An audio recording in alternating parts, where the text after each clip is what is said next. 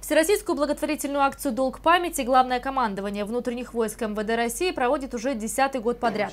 В ее рамках вдовам и детям, погибших при исполнении служебно-боевых задач военнослужащих, организуют бесплатный отдых и оздоровление. В этом году в акции участвует более 100 человек. Всего же на учете во внутренних войсках состоит 902 вдовы и 892 ребенка погибших военнослужащих. Им оказывают в том числе материальную помощь за счет внебюджетных средств благотворительных организаций. Сегодня, например, всем детям вручили приятные подарки. А вдовы могли адресовать командованию любые интересующие вопросы. Всегда проводится прием по личным вопросам вдов. Вопросы всегда разные. Вопросы возникают по жилью, э, вопросы возникают по социальным гарантиям.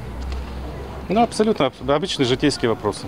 Всех участников акции сплотила общая беда. Моральная и материальная поддержка, внимание командования и сослуживцев погибших отцов и сыновей – это то, что помогает вдовам и детям пережить потерю и с надеждой смотреть в будущее.